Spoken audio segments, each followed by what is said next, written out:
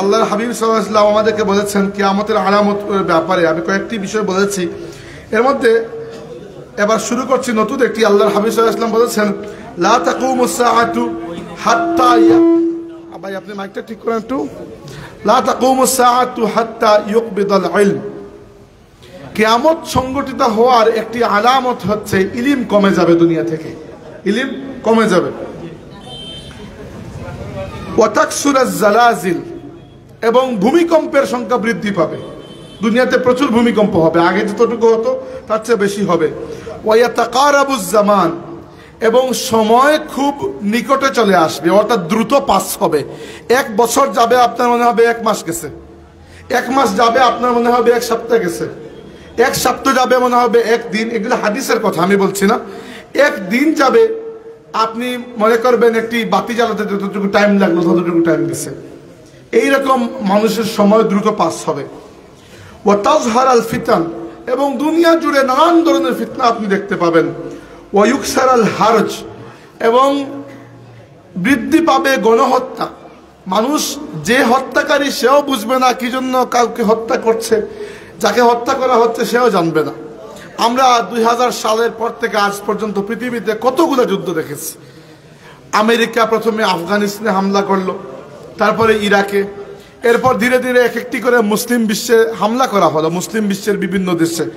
Libya, Syria, Yemen, এইসব দেশের মানুষের কোনো দোষ নাই। কিন্তু শুধুমাত্র একটি বিশ্বজনীন এজেন্ডাকে বাস্তবায়ন করার জন্য এই পৃথিবীতে গণহত্যা চলছে।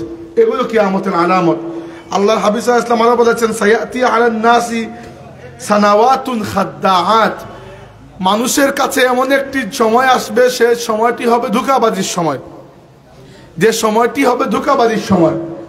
ওয়া ইয়ান্তিকু ফিহার রুয়াইবিদা। যে যুগে কথা বলবে রুয়াই রুয়াইবিদা। সাহাবিরা বললেন, রুয়াইবিদা মানে কি আর রাসূলুল্লাহ? আল্লাহ নবী বললেন আর রাজুলু তাফিহু ইয়াতাকাল্লামু বিআমরিল আম্মা। তুচ্ছ নিকৃষ্ট ধরনের মানুষ আম মানুষের নেতা হয়ে যাবে, আম মানুষের উপরে কথা বলবে। কিছুদিন আগে আমরা বাংলাদেশেও এর একটা, এরকম একটা উদাহরণ দেখেছিলাম। বাংলাদেশের একজন অনেক বড় হর্তাকর্তা, যিনি বিভিন্ন বেফাস মন্তব্য এবং আলিমদের ব্যাপারে, ইসলামের ব্যাপারে কুৎসিত মন্তব্য করে পরবর্তীতে কানাডায় গিয়ে ঠাই না পেয়ে, দুবাই এসে ঠাই না পেয়ে আবার দেশে চলে এসেছেন, তাই না? এই ধরনের মানুষকে বলা হয় রুয়াই বেবা আল্লাহ নবী বলেছেন যে কিয়ামতের অন্যতম আলামত হচ্ছে যে মানুষের উপর এরাই কথা বলবে, আম মানুষের ব্যাপার, যাদের কোনো যোগ্যতা নাই, নিকৃষ্ট মানুষ। এরকম অসংখ্য অগণিত আপনাকে বলা যাবে। আল্লাহ নবী ইসলাম আরও বলেছেন, ইজা জহারাতিল কাইনাত যখন গায়িকা যারা বাদ্যযন্ত্র বাজাই বাজিয়ে গান গায়, এদের বিরাট দাম হবে দুনিয়াতে। এই পৃথিবীতে সবচেয়ে সম্পদশালী কয়েকজন মানুষের হিসাব করুন। শিল্পপতিদের পরে দুই নম্বর অবস্থানে হবে এইরকম নায়ক, নায়িকা, গায়ক, গায়িকা যারা এদের দাম বেড়ে যাবে। আল্লাহ নবী সাল্লাম আরও বলেছেন, ওয়াল মাআজিফ মিউজিক। মিউজিক যেগুলো বাছায় গানের সময়, এগুলো এইরকম বৃদ্ধি পাবে আমার উন্মতের মধ্যে যে মানুষের জন্য মিউজিক একটি আম বিষয় হয়ে যাবে। আল্লাহর নবীর যুগেও মিউজিক ছিল, কিন্তু এতটুকু আম বিষয় ছিল না। আজকের যুগে মিউজিক বড় আম বিষয় হয়ে গেছে। আল্লাহ নবী সাল্লাম আরও বলেছেন যে, ওয়া সুরিবাতিল হুমুর প্রচুর মদ্যপান করা বেড়ে যাবে। বাংলাদেশ একটি মুসলিম দেশ, আপনারা কথা বলতে গিয়ে বলেন যে নব্বই শতাংশ মুসলিম মুসলমানের দেশ। সেই মুসলমানের দেশে যে কোম্পানি মদ বানায় কেরু অ্যান্ড কোম্পানি তাদের গত বছরের আয় ছিল একশো পঁচানব্বই কোটি টাকা। কেউ না কেউ তো মদ খাচ্ছে, তাই না? নাইলে আয় বাড়লো কীভাবে? এইগুলো প্রত্যেকটা বিষয় আমাদেরকে বুঝিয়ে দিচ্ছে যে কিয়ামত অতি নিকটবর্তী। আল্লাহ নবী সাল ইসলাম আরও বলেছেন যে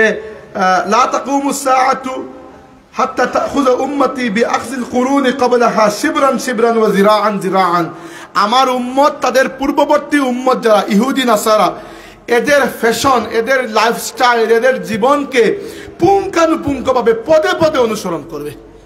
আজকের যুগে মুসলমানদের ফ্যাশন পশ্চিম দেশ থেকে আসে। মুসলমানদের জীবনের লাইফস্টাইল পশ্চিম দেশ থেকে আসে। আমরা এক সময় আপনারা কি জানেন এক সময় আরবরা, অর্থাৎ মুসলমানরা দুনিয়াকে শাসন করেছে এবং দুনিয়াতে ফ্যাশনও তারাই ইন্ট্রোডিউস করেছে। আজকের যুগে আমরা ওদের ফ্যাশনে ফ্যাশনেবল হচ্ছি।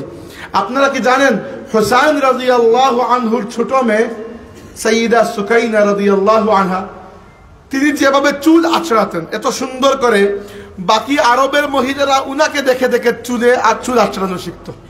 এক সময় মুসলমানরা ফ্যাশনের নেতৃত্ব দিয়েছেন আল্লাহ নবীর এক সাহাবি নামটা এই মুহূর্তে মনে পড়ছে না, তার অনেক লম্বা চুল ছিল, এতটুকু লম্বা চুল আরও নিচে, কাদের নিচে চলে যেত, খুব সুন্দর চুল।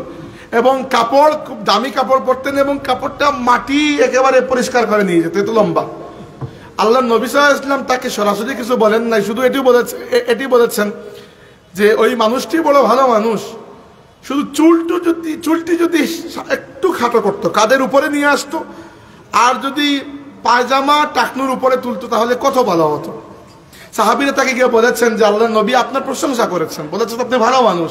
সাথে এটাও বলেছেন যে চুলটা যদি হালকা একটু খাটো হতো কাঁধের উপরে চলে আসতো আর টাকনুর উপরে কাপড়, তাহলে কত ভালো হতো। আল্লাহর বান্দা এত শখ করে চুল রেখেছেন এত দামি কাপড়, কিছুই দেখেন নাই। সাথে সাথে গিয়ে ঘর থেকে কাচি নিয়ে চুল এবং তার পায়জামা দুটি কেটে শর্ট করে ফেলেছেন। সারা দুনিয়া এদের কাছ থেকে ফ্যাশন শিখেছে। আজকে আমরা ফ্যাশন শিখি নেইমারের কাছ থেকে।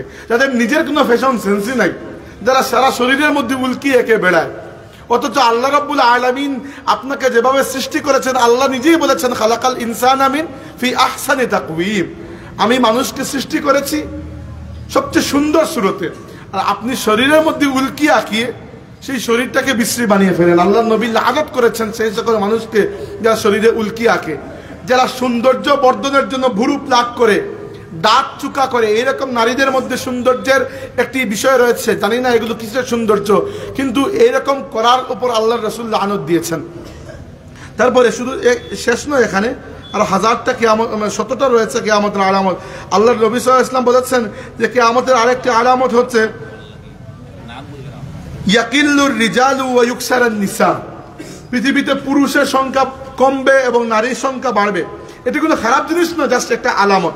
আল্লাহ নবী সাল্লাম আরও বলেছেন যে, ওয়া ইন্নামা আখাফু আলা উম্মতি আল আইম্মাতাল মুদিল্লিন। আমি ভয় পাচ্ছি আমার উম্মতের নেতারা পথভ্রষ্ট ব্যক্তি, ফাসিক ব্যক্তি আমার উম্মতের নেতা হয়ে যাবে।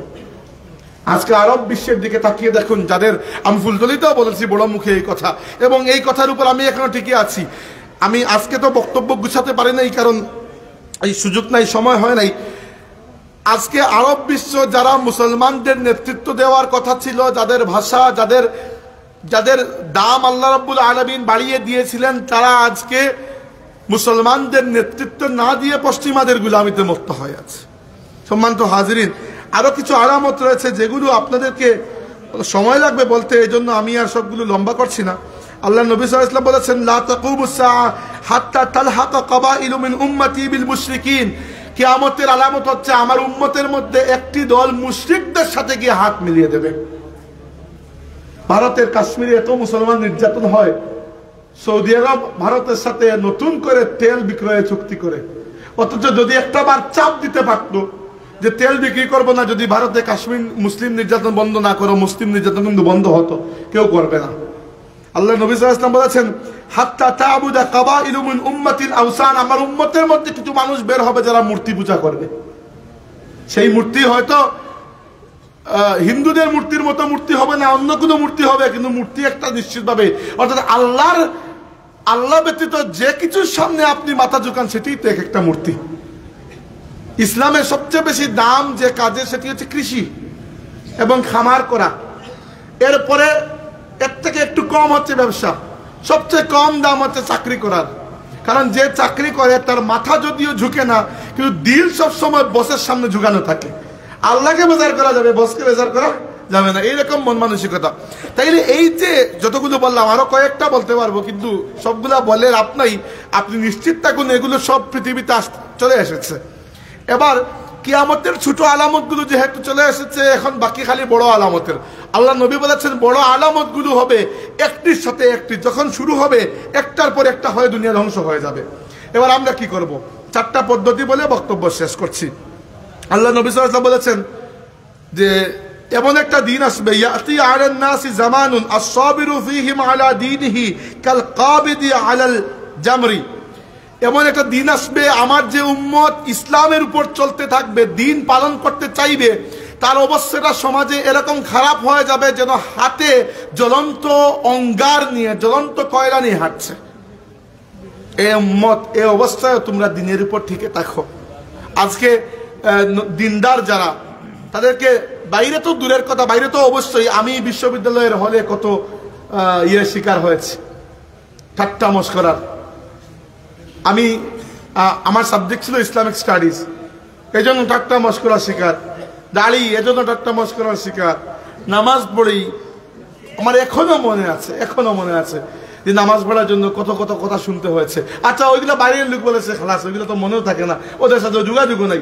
কিন্তু এরকম তো আছে যে মানুষটা, একটা ফ্যামিলিতে, যে মানুষটা দিন পালন করে, দাঁড়িয়ে আছে, পায়জামাটা টাকনুর উপরে, আত্মীয় স্বজনের বিয়ে যেতে পারে না। বিয়েতে গেলে তাকে সাইডলাইন করে দেওয়া হয়। বলা হয় মুল্লা। বলা হয় কি যে, ওই যে মৌলবাদী। একটু এগিয়ে গেলে তো জঙ্গিও বলে দিবে। সমস্যা নাই, তাই না? ফান্ডামেন্টালিস্ট তবুও এরকম কষ্ট হয়ে যাবে দিন পালন করা যেন হাতে জ্বলন্ত অঙ্গার নিয়ে চলছি। দিনের উপর ঠিকে থাকো। দুই নম্বর, আল্লাহ নবী বলেছেন যে, এই ফিতনাগুলো যখন দুনিয়াতে দেখা দেবে, ফাল ইয়ান উ আনহু তোমরা এই ফিতনাগুলো থেকে পালিয়ে যাও। কখনো নিজের ইমানকে টেস্ট করার জন্য আসবেন না। যে ফিতনার মধ্যে পড়ে দেখি একবার, বাঁচাতে পারে কিনা? না, আপনার দায়িত্ব হচ্ছে ইমানটা নিয়ে পালিয়ে যাওয়া। অতএব যে জায়গায় এরকম ফিতনা দেখবেন কনসার্ট সিনেমা গেইমিং সহ নানান কিছু, অযথা গল্পগুজব, এই সকল বিষয় দেখবেন, একটু পালিয়ে যাবেন। কারণ ভেতরে ঢুকলেই শয়তান আপনাকে এগুলোর মধ্যে নিয়ে নেবে। দুইটা। তিন নম্বর বিষয় হচ্ছে আল্লাহ নবী ইসলাম বলেছেন ফামানি বেতালা যে এই ফিতনার যুগে ফিতনার মধ্যে আসবে, সে যেন আল্লাহর কাছে বেশি করে ইস্তেকফার করে এবং সাহায্য চায়। আর চার নাম্বার কিয়ামতের আগের যত ফিতনা আছে, সব ফিতনা থেকে আপনাকে বাঁচানোর একটাই ঔষধ, সেটি হচ্ছে সুরা কাহাফের প্রথম দশটি আয়াত। আমি চিন্তা করেছি, পুরো সিলেট বিভাগের মানুষকে এটা মুখস্থ করিয়ে আমি মানে কান্ত হব। আমি এই নিয়তে মানে ইরানি ওয়াজ করতেছি। সুরা কাহাফের প্রথম দশটি আয়াত মুখস্থ করতে হবে, এটা আপনাদের সবার জন্য ফরজে আইন। করবেন? আল্লাহ নবী ইসলাম বলেছেন যে এটি দাজ্জাল এবং দাজ্জালি যত ফিতনা আছে, সব ফিতনা থেকে আমার উম্মতকে বাঁচিয়ে দেবে। কেউ যদি দাজ্জালের সামনেও পড়ে যায়, আর সে যদি সুরা কাহাফের প্রথম দশটি আয়াত তিলাওয়াত করে, দাজ্জালের ফিতনা তার জন্য ইব্রাহিম আলী ইসলাম যেভাবে আগুনে জাপ দেওয়ার পরে আগুনকে বারদান ও সালামান পেয়েছিলেন, সে এই ফিতনার দুনিয়াকে বারদান ও সালামান হিসেবে পেয়ে যাবে। সুরা কাহাফ মুখস্থ করতে হবে। আর পাঁচ নম্বর ফেরেস্তাদেরকে বন্ধু বানাতে হবে। ফেরেস্তাদেরকে বন্ধু না বানালে কাজ হবে না। ফেরেস্তাদেরকে যত বন্ধু বানাবেন, শয়তান তত দূরে যাবে। ফেরেস্তা যত দূরে যাবেন, শয়তান তত নিকটে আসবে। ফেরেস্তা বন্ধু কীভাবে হবেন? আপনার ঘর থেকে প্রাণীর ছবি সরিয়ে ফেলুন। যে ঘরে প্রাণীর ছবি থাকে, সে ঘরে ফেরেস্তা আসে না। তাহলে কে আসে? শয়তান আসে। দুই নাম্বার, কুকুরকে ঘরের ভেতরে ঢুকাবেন না। কুকুরকে ভালোবাসুন, কোনো সমস্যা নাই। খাবার দিন, সমস্যা নাই। ঘরের বাইরে ঢুকাবেন না। তিন নাম্বার মাঝে মধ্যে ঘরে সুরা বাকারা তিলাওয়াত করবেন। হুজুর ডাক দিয়ে নিয়ে এসে টাকা দিয়ে পড়ানোর কোনো দরকার নাই। নিজের পরিবারের সদস্যরা মিলে মাসে একদিন হলেও সুরা বাকারাটি তিলাওয়াত করবেন। আপনার ঘরের চতুর্সীমানের মধ্যে আল্লাহর সৃষ্টির কোনো অনিষ্ট কিছুই দ্বারা কাছে আসতে পারবে না। রাতে ঘুমানোর আগে সুরা আয়াতুল কুরসি পড়ে ঘুমাবেন। আয়াতুল কুরসি পড়ে ঘুমাবেন, সুরা ইখলাস, সুরা ফালাক এবং সুরা নাস পড়ে। হাতে ফু দিয়ে শরীর মাসে করে ঘুমাবেন। শয়তান এবং শয়তানি কোনো শক্তির বাপের ক্ষমতা নেই আপনার পায়ের কাছে আসবে। এ ফেরাস্তারা আপনাকে প্রোটেকশন দিবেন। যে কোনো সময় ঘর থেকে বের হতে মুখস্থ করে যান, পড়বেন। বিসমিল্লাহি তাওয়াক্কালতু আলাল্লাহ, ওয়ালা হাওলা ওয়ালা কুওয়াতা ইল্লা বিল্লাহ। আর যে কোনো জায়গায় যাওয়া মাত্র পড়বেন। আউযু বিকালিমাতিল্লাহি তাম্মাতি মিন শাররি মা খালাক। আল্লাহর জমিনে কোনো অনিষ্ট আপনার পা পর্যন্ত আসতে পারবে না। ফেরেস্তা আপনাকে প্রোটেকশন দেবেন। আজকের যুগে মানে আমাদের জন্য সৌভাগ্য এটি মাইজুম সাহেব এসেছেন। কিন্তু সময়টা তো আমার অনেক চলে গেছে, এজন্য আমাকে আমার নিজের মাহফিল ছুটে সাহেবের মাহফিল দুটি করতে হবে এই জন্য আর আমি আপনাদের সামনে বসতে পারছি না। আল্লাহ রাব্বুল আলামিন আমাদের বসা এবং শোনাকে কবুল করুন আমরা বলি আমিন। সুবহানাকাল্লাহুম্মা ওয়া বিহামদিকা আশহাদু আল্লা ইলাহা ইল্লা আনতা আস্তাগফিরুকা ওয়া আতুবু ইলাইক। সাজা নিয়ে আসা বর বইনির লাগি দোয়া চাইবার লাগি তার জিন্দা মুর্দা পাঁচশো টাকা দিতে। সাজান নিয়ে জি আলহামদুলিল্লাহ জি। আরও ধরে ছয়শটা টাকা দিয়েছেন নাম আর টাকা আল্লাহ আমিন। জি তো এই সাগরদি গিরবার ছিলেন। জি। তিন বছর যাচ্ছে আমাদের লাল মিয়া সাহেব লাল মিয়া শাহ পাঁচ হাজার টাকা আলহামদুলিল্লাহ اللهم آمين اللهم ربنا ظلمنا أنفسنا وإن لم تغفر لنا وترحمنا لنكونن من الخاسرين ربنا عليك توكلنا وإليك نبدا وإليك المصير আল্লাহ তোমার বান্দা আপনার এই বসা এবং শোনারে তুমি কবুল করো মোলা আল্লাহ তোমার আমরা বড় ফিতনার যুগ আমরা আর কিচ্ছু চাই না তুমি আমরা তোমার কুদরত দিয়ে প্রোটেক্ট করিয়া রাখো মোলা সুখে থাকি, দুঃখে থাকি, সমস্যা নাই। তোমার বান্দা বানাইয়া রাখো। শয়তানের হাওলা করিও না, নফসর হাওলা করিও না। আমরা যুব সমাজের দাজ্জাল এবং দাজ্জাল পূর্ব যত ফিতনা আছে সব কিছু থেকে বাঁচাইয়া রাখো। এইরকম মাদ্রাসাগুলোরে তুমি তরক্কি দান করো। দিনের মশাল জ্বালাইবার তৌফিক দমলা মৌলা। আল্লাহ, তোমার হাবিবে যত ফিতনা থেকে পানা